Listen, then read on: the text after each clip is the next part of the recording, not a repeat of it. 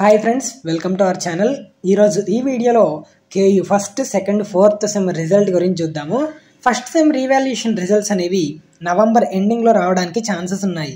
అంతేకాకుండా first third fifth semester exams regular and supply exams అనేవి November ఎండింగ్లో అయినా డిసెంబర్ ఫస్ట్ వీక్లో అయినా కండక్ట్ చేస్తారు.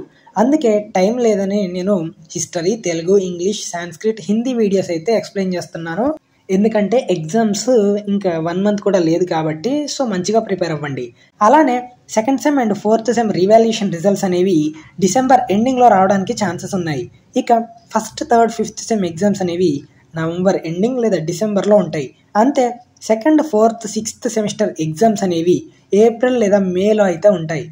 అంతేకాకుండా ఇంకొక చిన్న క్లారిఫికేషన్. మీకు సెమిస్టర్కి టూ ఇంటర్నల్ ఎగ్జామ్స్ ఉంటాయి. దాంట్లో కనీసం ఒక్క ఇంటర్నల్ ఎగ్జామ్ అయినా అటెండ్ అవ్వాలి. మీరు రాసే ప్రతి ఇంటర్నల్ వైవా ఇంకా ప్రాక్టికల్ అనే వాటికి క్రెడిట్స్ అనేవి ఉంటాయి. మీరు ఒకవేళ దాన్ని అటెండ్ అవ్వకపోతే మీకు రిజల్ట్లో క్రెడిట్స్ అనేవి తక్కువ ఉంటాయి ఇంకా గ్రేడ్ కూడా తక్కువ వస్తుంది. సో చివరిగా ఇదండి వీడియో. ఇక రిజల్ట్ అనేది ఎప్పుడు వచ్చినా నేనైతే అప్డేట్ ఇస్తాను. ఈ వీడియోని మీ ఫ్రెండ్స్ అందరికీ షేర్ చేయండి. యూజ్ అవుతుంది.